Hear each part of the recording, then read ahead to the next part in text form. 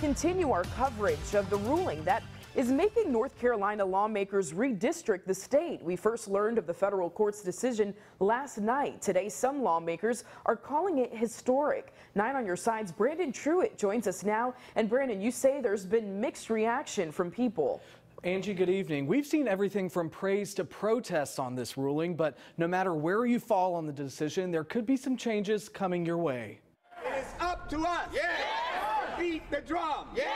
Protest outside the Capitol building in Raleigh Wednesday as many gather in support of the federal court's decision. We've always felt that partisan politics has no place in redistricting. Gerrymandering is a nearly 200 year old practice that is used more than you might think, but often hard to prove in court. In this most recent case, a federal panel consisting of three judges ruled North Carolina's federal districts were drawn unconstitutionally, drawn to favor Republicans. Representative David Lewis, North Carolina's House Elections Chairman. Obviously, I don't agree with the ruling. We do intend to appeal the ruling. The judges ruled there is too much focus on politics benefiting one party over another. I think it's an extreme stretch, and uh, hopefully the Supreme Court will see how disruptive this is U.S. Congressman G.K. Butterfield says the decision is historic. Uh, that the maps are not fair, they are unconstitutional, and they must be redrawn and redrawn very quickly.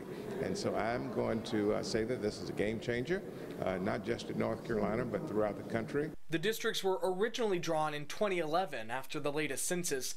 Now, at the order of a federal court, they look to be redrawn again. The party in power cannot go to the extreme in drawing maps to give their party uh, all of the power and the minority party none of the power court seeming to side with that argument. Now, there are now two cases from Wisconsin and Maryland sitting at the Supreme Court. And Angie, according to Republicans in North Carolina, they look to appeal it the same way. Absolutely. Now, Brandon, with this happening in several states before, we said Wisconsin, Maryland, and now happening in North Carolina, is it a possibility that it can affect the national congressional map entirely?